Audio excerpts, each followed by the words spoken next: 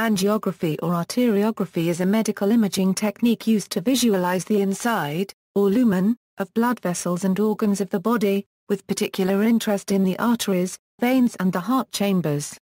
This is traditionally done by injecting a radio-opaque contrast agent into the blood vessel and imaging using X-ray-based techniques such as fluoroscopy. The word itself comes from the Greek words angeion, vessel, and graphein, to write, or record. The film or image of the blood vessels is called an angiograph, or more commonly, an angiogram.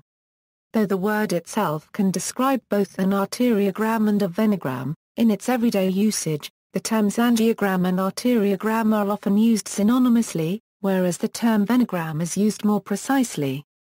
The term angiography is strictly defined as based on projectional radiography. However, the term has been applied to new vascular imaging techniques such as CT angiography and MR angiography. The term isotope angiography has also been used, although this more correctly is referred to as isotope perfusion scanning. History The technique was first developed in 1927 by the Portuguese physician and neurologist Egas Moniz at the University of Lisbon to provide contrasted X-ray cerebral angiography in order to diagnose several kinds of nervous diseases, such as tumors, artery disease and arteriovenous malformations. He is usually recognized as one of the pioneers in this field. Moniz performed the first cerebral angiogram in Lisbon in 1927, and Reynaldo Cid dos Santos performed the first aortogram in the same city in 1929. With the introduction of the Seldinger technique in 1953, the procedure became markedly safer as no sharp introductory device is needed to remain inside the vascular lumen. Technique Depending on the type of angiogram, access to the blood vessels is gained most commonly through the femoral artery, to look at the left side of the heart and at the arterial system. Or the jugular or femoral vein, to look at the right side of the heart and at the venous system. Using a system of guide wires and catheters, a type of contrast agent, is added to the blood to make it visible on the X-ray images. The X-ray images taken may either be still images, displayed on an image intensifier or film, or motion images. For all structures except the heart, the images are usually taken using a technique called digital subtraction angiography or DSA. Images in this case are usually taken at 2 to 3 frames per second, which allows the interventional radiologist to evaluate the flow of the blood through a vessel or vessels. This technique subtracts the bones and other organs so only the vessels filled with contrast agent can be seen. The heart images are taken at 15 to 30 frames per second, not using a subtraction technique. Because DSA requires the patient to remain motionless, it cannot be used on the heart. Both these techniques enable the interventional radiologist or cardiologist to see stenosis inside the vessel which may be inhibiting the flow of blood and causing pain. Uses Coronary angiography One of the most common angiograms performed is to visualize the blood in the coronary arteries.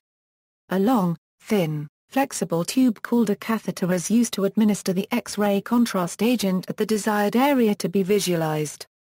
The catheter is threaded into an artery in the forearm, and the tip is advanced through the arterial system into the major coronary artery.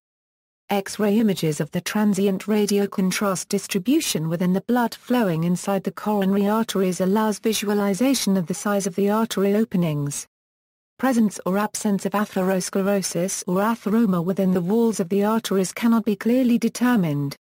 See coronary catheterization for more detail. To detect coronary artery disease, computed tomography scan is better than magnetic resonance imaging. The sensitivity and specificity between CT and MRI were and, respectively.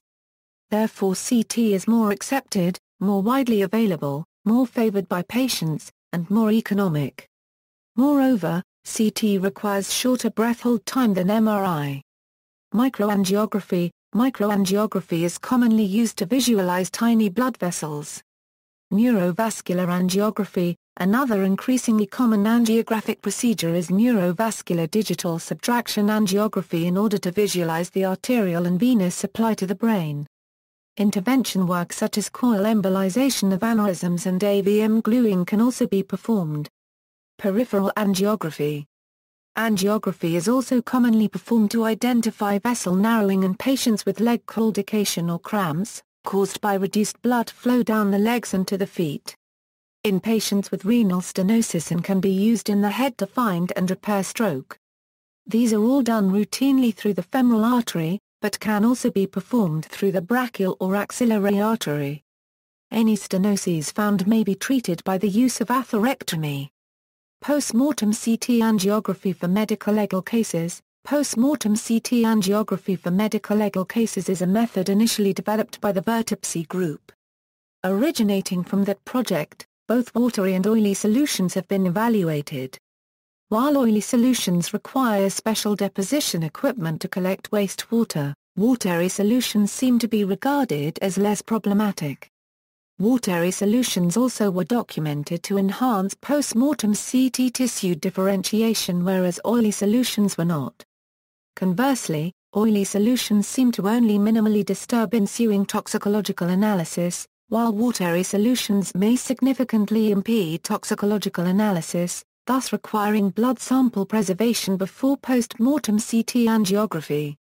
Complications Coronary angiography Coronary angiographies are common and major complications are rare. These include cardiac arrhythmias, kidney damage, blood clots, hypertension and pericardial effusion. Minor complications can include bleeding or bruising at the site where the contrast is injected, blood vessel damage on the route to the heart from the catheter and allergic reaction to the contrast. Cerebral angiography, Major complications in cerebral angiography such as in digital subtraction angiography or contrast MRI are also rare but include stroke, an allergic reaction to the anesthetic other medication or the contrast medium, blockage or damage to one of the access veins in the leg, or thrombosis and embolism formation. Bleeding or bruising at the site where the contrast is injected are minor complications, delayed bleeding can also occur but is rare.